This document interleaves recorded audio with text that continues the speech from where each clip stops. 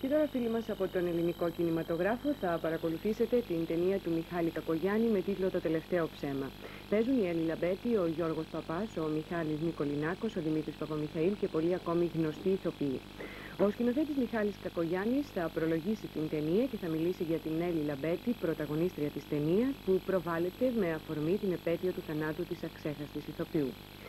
Στις 11 και 20 και στο πλαίσιο της εκπομπής μας «Οι Νέοι στο θέατρο» θα προβληθεί απόψε το μονόπρακτο με τίτλο «Το μέλλον είναι αποκλειστικά δικό μας». Οι νυχτερινές μας ειδήσεις απόψε περίπου στις 12 και 10.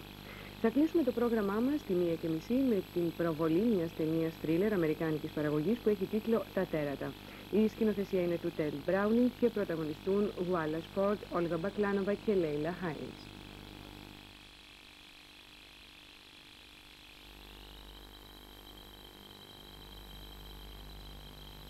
Να προλογίσω αυτή την ταινία το τελευταίο ψέμα. Και να πω μερικά λόγια για την Έλλη Λαμπέτη. Ομολογώ ότι από τη μια μεριά δέχτηκα γιατί την αγαπούσα πάρα πολύ και εν πάση περιπτώσει για μένα είναι κάτι πάντα ζωντανό στη ζωή μου. Απ' την άλλη δεν ήξερα με τι λόγια να ξεκινήσω αυτή την αυτή την κουβέντα με κάποιο πλήθος που αισθάνομαι ότι με ακούει από την άλλη μεριά ε, γιατί είναι τόσες οι αναμνήσεις που με συνδέουν με τη Λαμπέτη που δεν θα ήξερα από ποιο συστάρι να τραβήξω και ποιες αναμνήσεις θα ενδιέφερα. Εν πάση περιπτώσει το σίγουρο είναι ότι το ξεκίνημα της, ε, της σκηνοθετικής μου καριέρας τόσο στον κινηματογράφο όσο και στο θέατρο το οφείλω σε δύο ανθρώπους στον Δημήτρη Χόρν και στην Έλλη Λαμπέτη. Τη γνώρισα μέσω του Χόρν, με τον οποίο είχα συνδεθεί με κάποια φιλία αρκετά στενή ε, στο Λονδίνο, όπου είχε έρθει για κάποιες, ε, κάποια μετεκπαίδευση. Λοιπόν, γυρίζοντας στην Ελλάδα, προσκεκλημένος του Χόρν, κάποια μέρα, στην πλατεία του συντάγματος, θυμάμαι, είδα αυτό το, το κοριτσάκι, έτσι μου φάνηκε, και αμέσως με διαπέρασε ένα άρωμα το οποίο είναι τόσο δύσκολο να το περιγράψω που με, μου, μου έχει μείνει μέσα στους πόρους μου και θα είναι πάντα και νομίζω ότι μεταδόθηκε και σε όλο τον κόσμο που έτυχε να την δει και εκτός Ελλάδος στις ταινίες που γυρίσαμε μαζί. Οι τρεις ταινίες που έκανα με τη Λαμπέτη στην Ελλάδα, που ήταν το Κυριακάτικο Ξύπνημα, το Κορίτσι με τα Μαύρα, το τελευταίο ψέμα, ήταν και οι τρεις εμπνευσμένες από την προσωπικότητα της Έλλης και η μεν πρώτη ήταν κάπως ρετσέτα βασισμένη απάνω σε αυτή τη χάρη που μου σκόρπαγε και την δροσιά από τη σκηνή και την οποία προσπάθησα να μεταφυτεύσω στον κινηματογράφο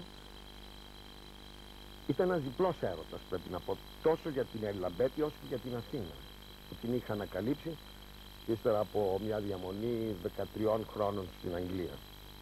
Και προσπάθησα να συνδυάσω αυτά τα δύο και το αποτέλεσμα πέτυχε αρκετά ώστε να εκλεγεί η ταινία και για την ε, έναρξη του φεστιβάλ του Εδιμβούργου, του κινηματογραφικού φεστιβάλ, με πρόεδρο τότε τον Τζον Χιούστον, θυμάμαι, και είχαμε πάει μαζί τα δυο φιλαράκια να περιβρεθούμε στην, ε, στην ε, προβολή της ταινίας. Και είχε ντυθεί με ένα υπέροχο άσπρο φόρεμα από το οποίο έβγαινε αυτός ο καταπληκτικός λαιμός το μαλλί μακρύ, λιμένο, που έκοβε την ανάσα σε όλο τον κόσμο. Γεμίσανε οι εφημερίδες αμέσως, οι πρώτες σελίδες, για αυτή την Ελληνίδα, την καλονή, τη χαριτωμένη. Και μετά, στην προβολή, να μου πιάνει η Έλλη το χέρι συνέχεια και να μου λέει δεν τους αρέσει, δεν τους αρέσει. Γιατί στο μεταξύ σκάγει όλος ο κόσμος στα γέλια και το χειροκρότημα στο, στο τέλος ξέσπασε εντονότατο, φωτογραφίες και η Έλληνα λέει συνέχεια μην τα πιστεύεις όλα αυτά Μιχάλη δεν τους άρεσε. Αυτή ήταν η Έλληνα Μπέτη. Θέλω να πω ήτανε, από πού να ξεκινήσει κανείς. Ήτανε απλή και φοβερά πολύπλοκη. Ήτανε γλυκιά και όπως πρέπει να είναι καλλιτέχνες και φοβερά σκληρή όταν το απαιτούσε η ανάγκη. Ήτανε, ε, ήτανε πολύ ίσια στις σχέσεις με τους ανθρώπους, αλλά μπορούσε να τους αποκλείσει όταν θεωρούσε ότι της ήταν άχρηστη και επικίνδυνη. Ε, ποτέ της όμως, το οποίο είναι σίγουρο, έχοντας το μέτρο του ταλέντου το οποίο μπορούσε να αξιολογήσει με το δικό της, τη δική της προσφορά και με το δικό της ένστικτο. Η Έλλη δεν έπεσε ποτέ στην, ε, στην παγίδα του, α, του, του ναυτισισμού που μπορεί να σε παρασύρει, να σε απομακρύνει και από την πατρίδα σου, να σε πετάξει σε εκμόλο που τη δόθηκαν πάρα πολλές ευκαιρίες. Εγώ είμαι ο μάρτυρας και ξέρω ότι κάποια στιγμή που της άνοιξε τις πόρτες στο Hollywood βρεθήκαμε στο γραφείο του διευθυντού της Fox μαζί οι δύο και την παρακαλούσε να πρωταγωνιστήσει σε μια ταινία με τον, με τον Gregory Peck. Η Έλλη γύρει και μου λέει Μιχάλη μου, πώς θα φύγω, πες μου, δεν μπορώ εγώ να φύγω από την Ελλάδα, πώς θα φύγω. Ήτανε δεμένη, δεμένη με την Ελλάδα με το θέατρο που δεν θα τον εγκατέλειπε ποτέ για μια διεθνή κινηματογραφική καριέρα και με την οικογένειά και με τους φίλους βέβαια.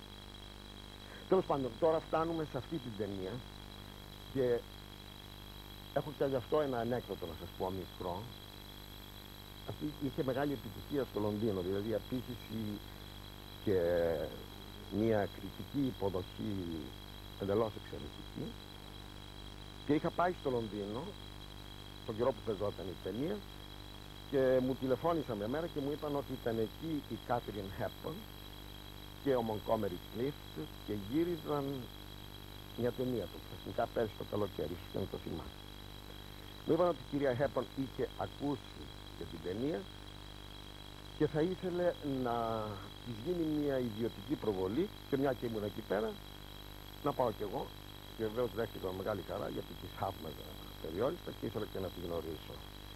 Και ήμασταν τώρα τρεις στην ιδιωτική αίθουσα. Είχα δεξιά μου την κυρία Χέπον, αριστερά το Montgomery Clift και παίζεται η ταινία και ξαφνικά σε μια σκηνή που θα την προσέξετε που γίνεται σε μια μπουζουκοταβέρνα και εκεί έχει μεθύσει και τη βγάζει έξω ο γαλανός τον παίζει ο Νικολινάκος και την κολλάει στον τοίχο και εκεί μέσα σε έτσι, κάτι άγρια δάκρυα και με αυτά αρχίζει και μαστιγώνει τον εαυτό της και λέει γιατί είναι, είναι επιπόλαιη, γιατί είναι κατεστραμμένη, γιατί είναι εδώ και λοιπά, είναι πλούσια και έχω ανάγκη από χρήματα και είναι αυτό το απάνω σε δύο-τρία επίπεδα παιγμένο αυτό το πράγμα και όταν γλιστράει για να μπει μέσα φυλάει και ένα δάκρυ όχι με αυτοίκτο από εκείνα τα άγνα, τα δάκρυα και γυρίζει και μπαίνει μέσα. Εκείνη την ώρα μου πιάνει το χέρι, το χέρι η Κάτριν Χέπον,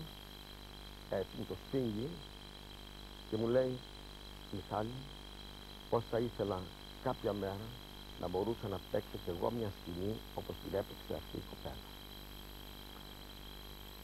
Από εκεί και πέρα, εγώ θέλω να μην αξιολογήσω εγώ το ταλέντο του Σεριλαμπέτη σχετικά με αυτή την ταινία έχω εδώ την κριτική ε, μιας από τις εγκυρότερες εφημερίδες στον κόσμο που είναι η Times του, του Λονδίνου οι οποίοι λένε εδώ το εξής.